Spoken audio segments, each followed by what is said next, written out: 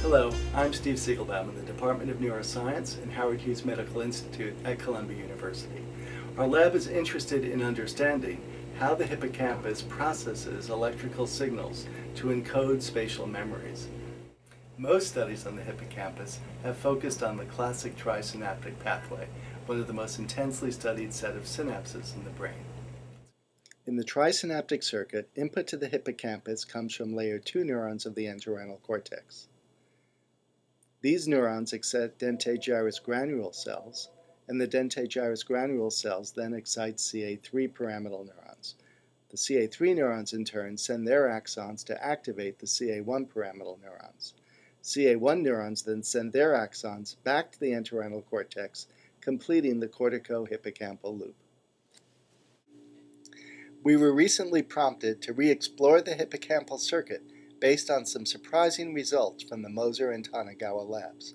These groups found that physical or genetic lesions of the CA3 inputs to CA1 have surprisingly little effect on CA1 neuron firing in vivo or on spatial memory storage.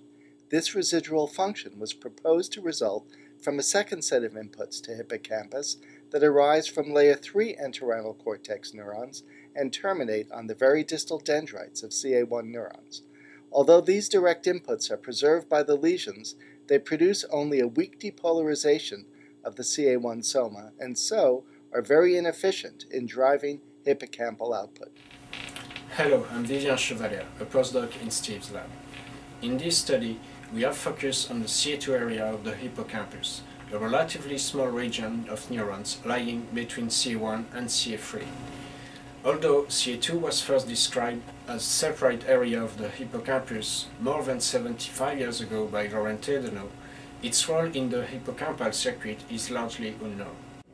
Because anatomical evidence suggests that CA2 neurons receive direct input from the entorhinal cortex, we wonder whether the cortical inputs can drive CA2 neurons, which in turn might drive the firing of CA1 neurons in a disynaptic loop. Indeed, we found that stimulation of layer 3 axon produced a surprisingly large EPSP in the CA2 neuron soma that was fivefold larger than the EPSP produced by layer 3 inputs in CA1 neurons. In addition, CA2 neurons receive strong convergent inputs from both layer 3 and layer 2 axons.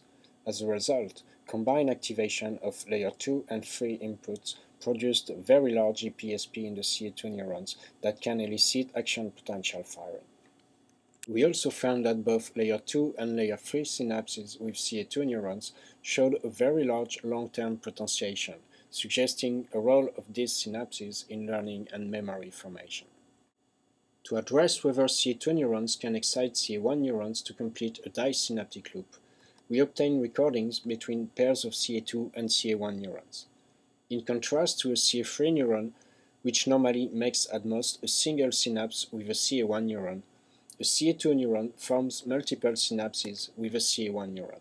This allows a relatively small number of CA2 neurons to provide a strong input that can fire CA1 neurons. These results show that CA2 neurons lie at the nexus of a powerful disynaptic circuit linking convergent inputs from layer 2 and layer 3 neurons of the entorhinal cortex to the CA1 output of the hippocampus.